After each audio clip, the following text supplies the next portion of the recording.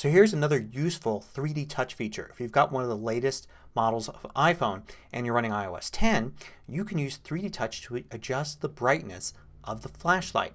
So I'm going to swipe up from the bottom of the screen to activate Control Center. And there I've got my flashlight button. I can turn the flashlight on.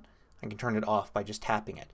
But if I tap forcefully I get three settings. Bright, medium, and low. And I can choose one of those. Very useful because actually the flashlight is pretty bright now. Uh, and if you just want to do something like say use it to read by you may want to do low light instead. Might be a little easier on the eyes. Whichever one you set it to it'll remain there until you switch it to another one.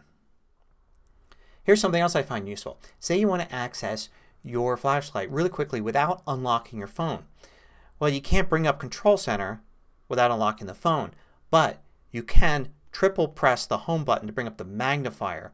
And then with the magnifier on you can press the light button at the bottom left. So it's a little bit easier and it gets you to the flashlight without having to unlock your phone. And then you can turn it off.